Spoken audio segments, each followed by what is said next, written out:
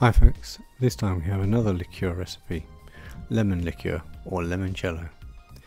This is great if you like the sharp taste of lemons or as I show later it can be added to other liqueurs to balance some of the sweetness of other fruit. Here's the recipe. For the first stage we only need the lemons and vodka.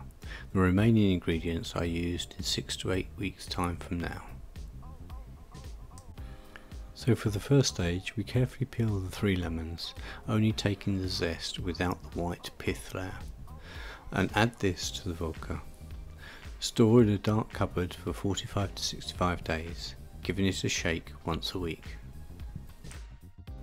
Once the lemon has infused with the vodka you are ready to make the syrup to sweeten the liqueur.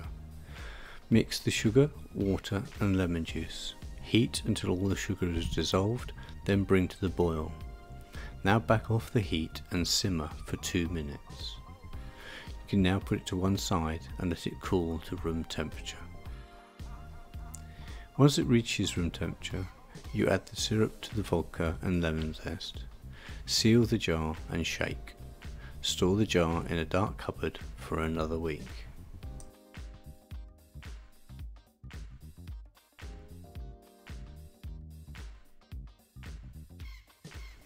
The original recipe says to strain through a coffee filter, but that just failed for me last time, taking far too long to drain through. So this time I've just used a sieve to remove the zest, and then used kitchen paper towels to remove the worst of the particles. It left the liqueur slightly cloudy, but I was okay with that. It will sit in the fridge for a while and that will slowly settle out. The original recipe suggests storing it in the freezer, but I just store it in the fridge. I bottled 500 milliliters into a reused liqueur bottle, then added the remaining 20 milliliters into the raspberry liqueur that I made a little while ago. Although the raspberry tasted lovely, I prefer mine mixed with a little lemon liqueur to balance out the sweetness of the raspberry fruit. Well that's all for this week. Thanks for watching. Please like and subscribe and if you have any questions or suggestions, please add them to the comments below.